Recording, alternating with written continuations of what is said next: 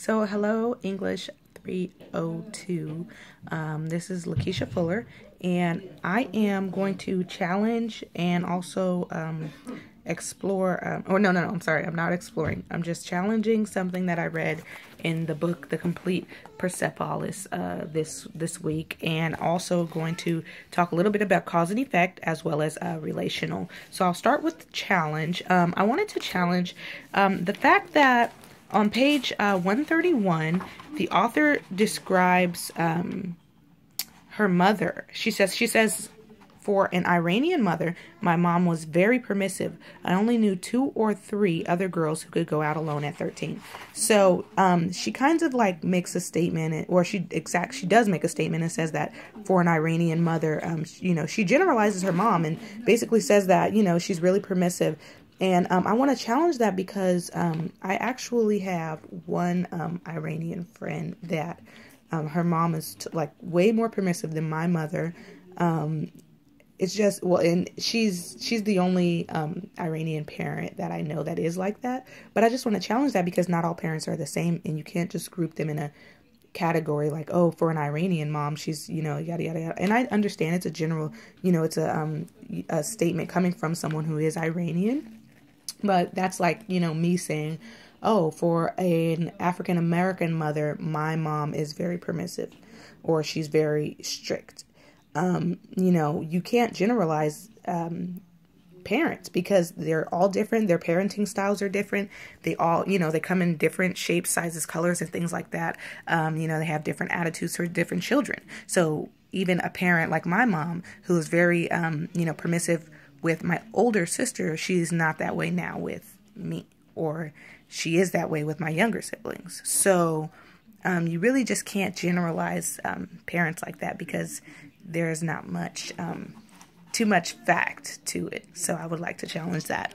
Um, I want to relate um, a little bit to um, what else? Something on page 113 and page 131 where um the daughter says, uh, or the author says, she tells her mom, I'm going out, you know, to buy me some tapes. And she just tells her. That's on page 131. And then on page 113, she actually, um, she actually, uh, that's, oh, I go back to that again because I love that part so much. When she just tells her mom off and she's like, you know, you're the dictator in this house. Um, and then also, again, even um, on page 177, when she, um, when she puts her hands on the head mistress of the school. You know, she's really, really, really, really, um, really defiant. And I wanted to just relate that to the youth of today. Um, uh, you know, I hear a lot of people saying that um, the youth is really out of control and they do what they want to do.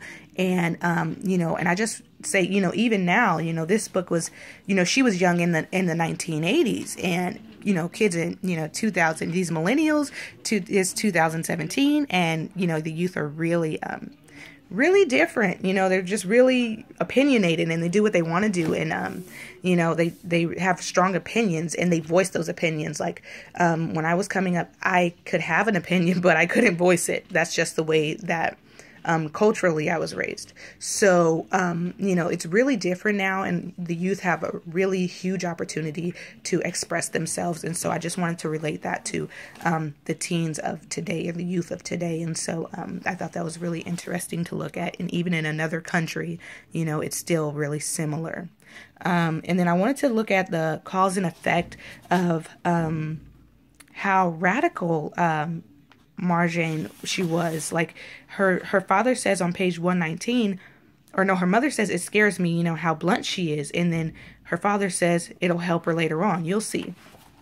And so later on in the book, it does help her.